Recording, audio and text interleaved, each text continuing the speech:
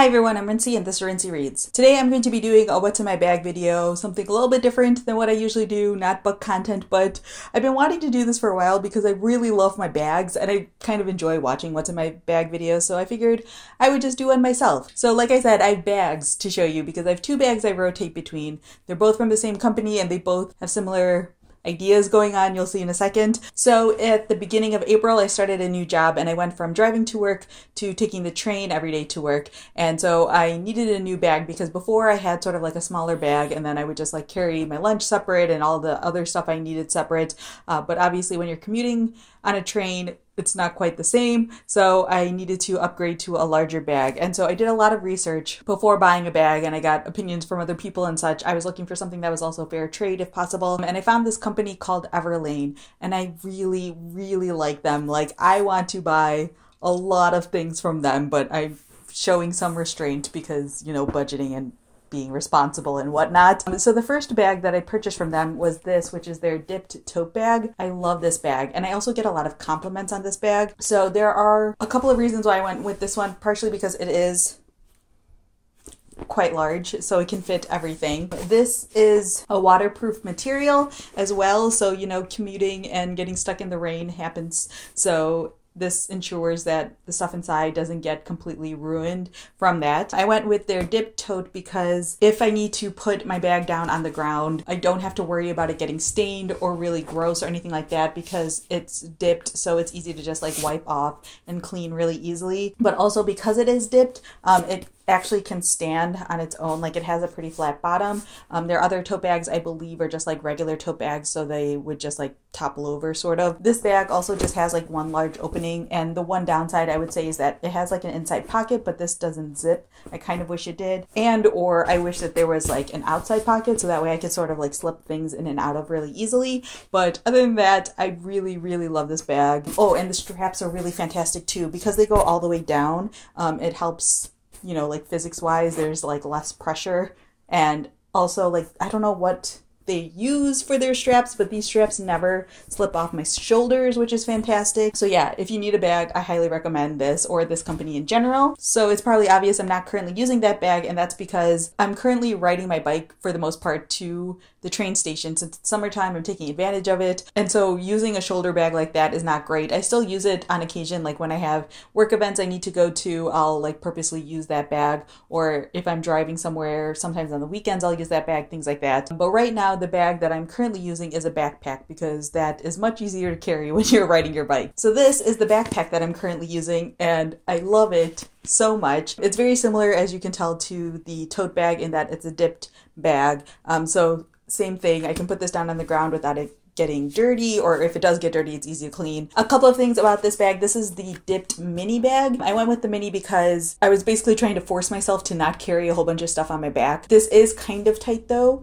because I also put my lunch bag in here, as you will see in a second, but it works. I'm able to fit everything, and it basically just forces me to like make choices like, do I really need this thing in my backpack? And most of the time it has been no. But yeah, this is the mini size. They do have larger sizes. So yeah, in the front pocket, I usually have my phone, um, but I'm currently using my phone to record the audio for this video, so I'm not going to show that. But I also keep uh, this camera in here. I have a Sony RX100 Mark III. I bought this in 2015, and I really love it. I really enjoy it. If you you have seen my Instagram and you really enjoy my Instagram, there's 99% chance that those pictures were taken with this. Uh, I don't really take pictures on my phone. I mean, I do, but this is significantly better. it's kind of pricey, but it's worth it to me because I use it all the time and it's great. Like, it has like the little flip out screen. So if I wanted to vlog on this, I think I have vlogged on this before. Yeah, I, I love this camera so, so much. It's been completely worth the investment for me. And then I also keep my keys in this front pocket as well. Um, I have a lot of keys and keychains. My favorite keychains, I have a Bort keychain, a Simpsons Bort keychain. If you're a Simpsons fan, you understand this joke. Um, I got this from Universal Studios when I went there in 2015, I believe I went. And then I also have this, which uh, my friends who know me in real life from church might recognize. We had a church conference and they made these little dog tags that have words like truth, righteousness, peace, faith, salvation, word, and prayer, which is comes from Ephesians, I want to say, um, and it has to do with like putting on the armor of God. And so these are the different types of armor that we need to put on. So yeah, good reminder. Yeah, a lot of stuff going on here. All right, so this is the inside of the bag. As you can see, stuffed to the brim. I'm just gonna go top to bottom. So here I have what's basically like my lipstick bag. I carry lipsticks, even though I don't really wear lipsticks anymore, but when I used to wear lipsticks, I just put them all in here. I mainly just use this now for my chapstick. I use uh, Burt's Beeswax, but it has to be specifically their mango one or the pomegranate one. I don't like their original at all. And then I also keep Advil in here because you know that's needed sometimes. And like i said i have like a bunch of lipsticks in here but i'm not going to show them off because i don't really wear them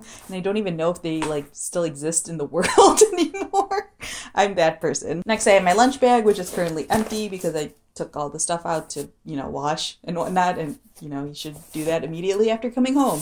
But yeah i just got this from the container store. It fits like my food perfectly. I have these like glass containers pyrex containers um, and it can stack two of them perfectly plus a little bit more if i need a little bit more. And yes i do bring my lunch like every day to work because i like it. I have this tiny umbrella. I'm pretty sure i got this from target I've been using this since like college. I should probably get a better umbrella since I'm commuting in the city and the wind is super strong in the city. But yeah, this is just, you know, doing the job for now. I have my wallet. This is a Michael Kors wallet that I got for super cheap at Marshall's because that's how I roll. Yeah, I just really like this color. It has my cards and whatnot in here as well as like the cash thing and then it has the coin thing in the back. You know, how wallets work.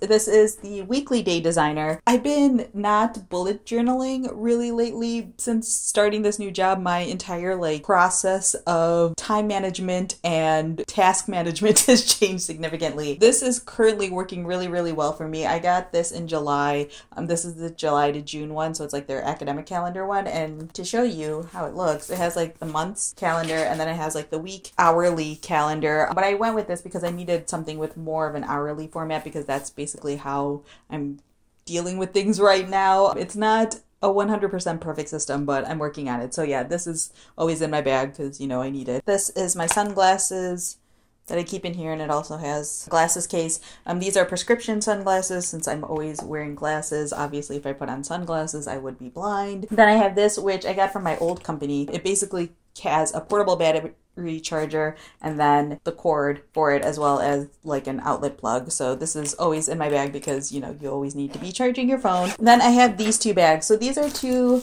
bags that i got from the strand two separate occasions. And i highly highly highly recommend these bags. I think these are great if you are someone who has like a large purse or a large backpack or anything along those lines and you feel like you're always rustling through it to find stuff. Um, these are great to, you know, keep all of those smaller things inside, whether it be like pens or tissues or whatever you'll see in a second what I keep in mind. So this bag has the Strand logo on one side and then on the other side it says a well read woman is a dangerous creature. And hilariously enough inside of my strand bag i keep my kindle.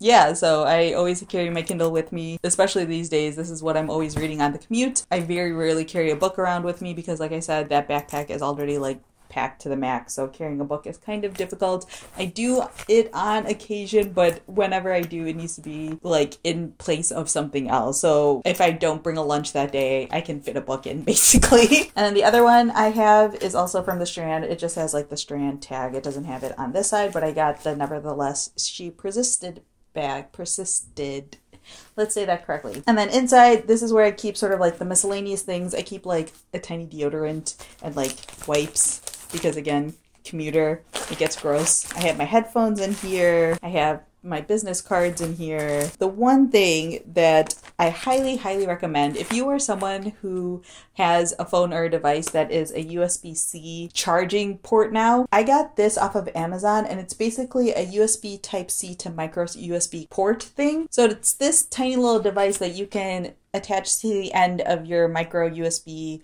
cords. I'm someone who has been an Android person in terms of phones for like my entire smartphone existence. As that, I had a bajillion micro USB cords and I loved it because I could like leave one at home, leave one at work, have one in the car, etc., etc. Then I got a phone that has micro USB and I was like, crap, now I have to buy a bajillion micro USB cords. But No, I went on Amazon and I was looking for them and I found these instead and they're fantastic because I can just stick these on the ends of all my cords and I am straight. Um, it's also great to just keep in your bag if you're like me because if you like forget your cord at home, it's very likely that someone has a micro USB charging cord, but USB-C isn't quite as common yet. So if that happens, then I just like pull out one of these little converter things and I can use their cord temporarily. So yeah, highly recommend this. It's basically been a lifesaver on multiple occasions and has saved me from needing to buy like a bajillion more cords and just using the ones that I already have, which is aces. So yeah, that's my entire backpack. All empty now. Let me know down in the comments below if you have any questions. I went through these products kind of quickly. I'll have links down below to these bags as well as like the strand bags in case you are interested in those or if there's anything else you're interested in me linking to, let me know down in the comments and I will do my best to do that. So yeah, that's all I have for now and thanks for watching.